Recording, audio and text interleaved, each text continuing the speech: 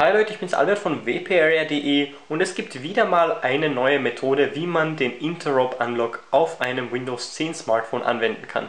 Es ist so einfach, dass es praktisch gesehen jeder Nutzer ausführen kann, auch nicht erfahrene Leute, die jetzt auch schon die Windows 10 Mobile Preview verwenden und wer es geschafft hat, diese auf seinem Smartphone zu installieren, der wird das auch sicherlich hinbekommen. Also, was ihr dafür benötigt, ist einmal ein Windows 10 PC. Hier haben wir den Asus eBook X205 dafür vorbereitet. Und dann müsst ihr euch einige Programme runterladen, die findet ihr in unserem Artikel drin, zum Beispiel hier diesen Registry Editor fürs Handy und auch das Windows Phone 8 SDK. Falls ihr nicht Entwickler seid und mit dem wenig zu tun habt, dann solltet ihr euch wirklich dieses hier runterladen. Das ist quasi die Lite-Version davon, hat 60 MB anstatt 1,4 GB, glaube ich, wie das Windows Phone 8 SDK eben hat und da ist eben auch der Download deutlich kürzer einerseits und es verbraucht auch deutlich weniger Speicher auf einem PC. Und dann benötigt ihr natürlich ein USB-Kabel und das Windows 10 Smartphone. Dort fangen wir gleich an. Da gehen wir her. In die Einstellungen, Update und Sicherheit für Entwickler und aktivieren den Entwicklermodus und aktivieren auch die Gerätesuche. Und dann können wir das so stehen lassen. Dann müssen wir das Windows Phone 8 SDK installieren. Dazu starten wir einfach diese Batch-Datei, drücken die Eingabetaste und dann wird das alles schon von selbst erledigt.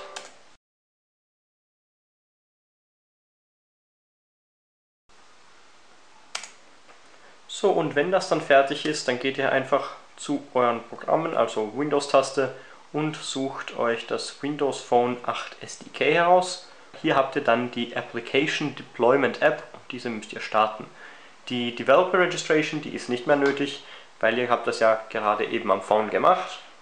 Schließt nun euer Smartphone per USB an den PC an.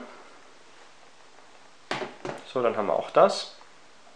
Und durchsucht euer System nach dieser XAP-Datei, diesem Root-Tool, das wir zuvor heruntergeladen haben.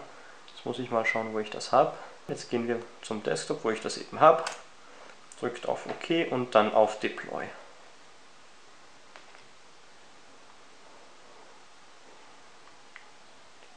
Und das Smartphone, wie ich gerade gesehen habe, muss entsperrt sein dafür. Das heißt, das Smartphone darf auf jeden Fall nicht auf dem Lockscreen sein. Und jetzt warten wir mal ab, bis das installiert hat. So, jetzt steht da gesagt Deployment Complete. Können wir das Smartphone abstecken. Und jetzt haben wir hier oben das Root Tool installiert. Das starten wir jetzt. Ja. Und wenn ihr jetzt ein Lumia Smartphone habt, dann wählt ihr hier Lumia Registry Editor. Wenn ihr ein Samsung Gerät habt, wie das Samsung Etiv S, dann geht ihr hier ganz einfach auf den Samsung Registry Editor. Die Schritte sind aber eigentlich dieselben. Also ihr geht hier drauf, geht dann hier auf die App-Leiste und auf Templates. Dann drückt ihr hier auf Interop Capability Unlock und wenn ihr den vollen Systemzugriff unter Windows 10 über den Explorer wollt, dann müsst ihr auch dieses hier ankreuzen will ich jetzt aber in dem Fall nicht, geht auf Apply und dann steht da schon Complete und schon ist das Ganze fertig. Wer das manuell machen kann, kann das natürlich auch tun. Dann müsst ihr hier die Registry-Werte eingeben. Dazu hatten wir schon mal ein Tutorial und dieses ist dann auch in der Videobeschreibung verlinkt. Das wäre es auch eigentlich schon gewesen. So einfach ist es, diesen Interop Unlock anzuwenden. Und wer sich jetzt fragt, was ist der Interop Unlock eigentlich? Ist das jetzt vergleichbar mit dem Root bei Android oder dem Jailbreak beim iOS? Das ist gar nicht vergleichbar, muss man auch sagen. Denn beim Root unter Android bekommt man Systemrechte, das heißt sämtliche Anwendungen laufen auf Systemlevel. Unter Windows Phone beim Interop Unlock, da bekommt jede App, die eben diese Berechtigungen verwendet, zusätzliche Rechte.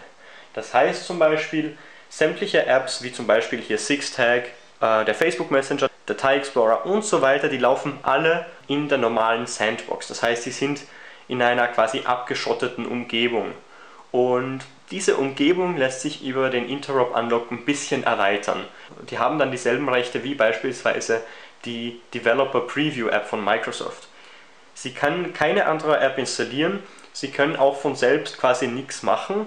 Ihr müsst dazu selbst die App starten, ihr müsst dazu selbst die App auch installieren vorher und dann auch den Vorgang, den ihr machen wollt, bestätigen. Das heißt, die App kann nichts von selbst machen, keine Kontakte auslesen, keine Lifestyle-Farben ändern und so weiter. Und der Interrupt Unlock erlaubt euch eigentlich nur solche Dinge zu ändern, wie beispielsweise den Telefonnamen oder den Namen des Dienstanbieters oder hier oben diese Benachrichtigungs-Icons. Zum Beispiel könnt ihr einschalten, dass ihr 5G-Empfang habt.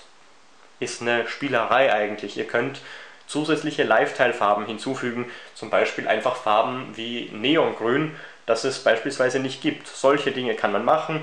Ihr könnt euer Lumia 520 dann in ein iPhone 5 verwandeln, zum, vom Namen her. Das steht dann auch in der wparea.de App drin.